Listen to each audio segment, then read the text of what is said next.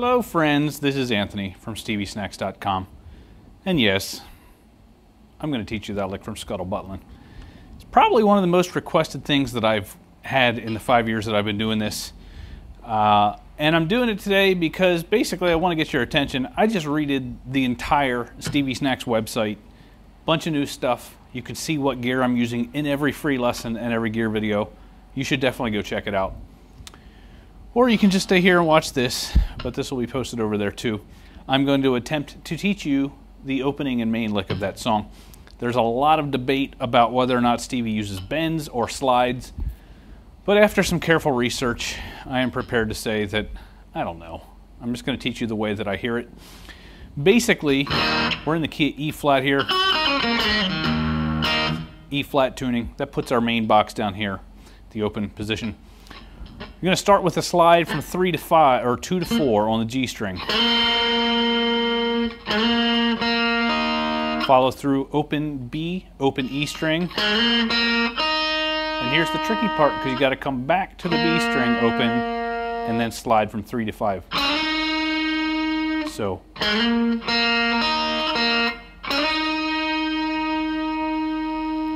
Then we're going to jump back up here to the open E string open E, third fret open on B string. And what you're probably used to playing is a slide from, from three to two on the G string, open, then down to the second fret of the D string. And then open E string. And then that chord that you're playing there is the second fret of the D string, G string on the first fret, and then barring the third fret of the So I'm going to tell you something that you're probably doing wrong and you didn't even know it.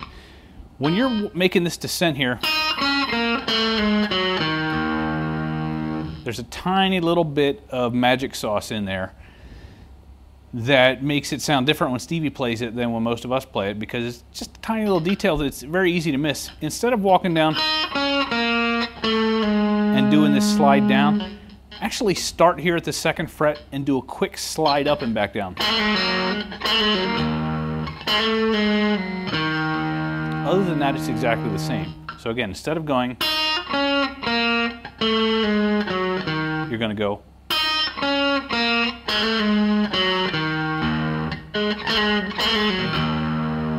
And that slide's got to be really, really fast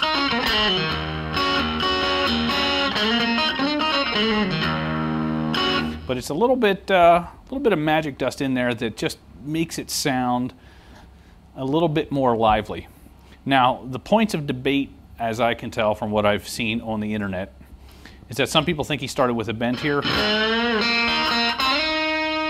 instead of a slide. I don't really care how you do it. Sounds good either way. The other way I've heard it explained instead of a slide there, he did a bend. That I'm pretty sure is wrong based on the videos that I've seen. It's pretty obvious that he's doing a slide there. But I mean, if you can get away with doing with a bend, I'm not going to yell at you. Just the hardest part though is the this little picking thing here. You see how I'm picking that?